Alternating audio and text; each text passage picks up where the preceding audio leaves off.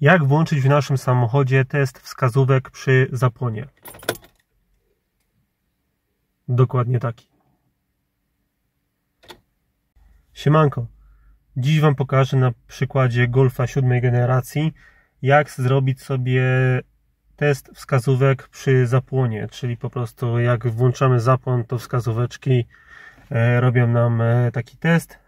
Jest to bardzo często spotykane w Audi, ale możemy to właśnie zrobić e, w całej grupie Volkswagena. Wszystko to zrobimy, gdy autko mamy powyżej 2008 rok i wyżej, ponieważ mamy tam długie kodowanie i jest taka opcja. Nie we wszystkich sterownikach, ale jest taka opcja. Zaraz Wam pokażę, jak to zrobić. A więc tak, odpalamy sobie VCDS-a, włączamy sobie zapłon, dajemy wybór sterownika.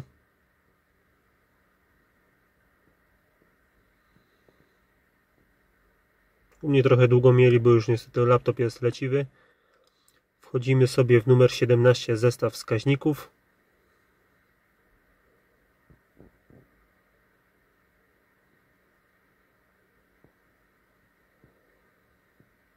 kodowanie 07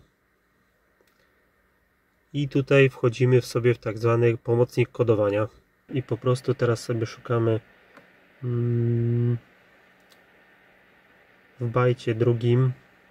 Bit 0 which test needless whip. To nie jest zaznaczone. Zaznaczamy sobie ptaszkiem. Tu już się zmieniło. Wychodzimy sobie stąd. I teraz tak tutaj jest nasze stare kodowanie tutaj jest nasze nowe kodowanie. Jeśli dobrze się przyjrzycie to zmieniła się tylko czwarta cyfra z A4 na A5 dajemy wykonaj.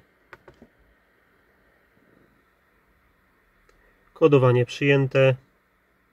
OK. Wychodzimy sobie. Powrót. Zamykamy i sprawdzamy czy nas też się powiódł. Wyłączamy zapłon wsadzamy ponownie kluczyk. I cyk. Wszystko działa pięknie. Niedługo więcej filmów, także oglądajcie, subskrybujcie. Dzięki za uwagę, cześć.